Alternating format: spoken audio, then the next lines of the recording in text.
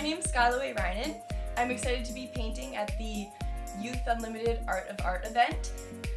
There I will be painting either portraits or another surprise but in the same style.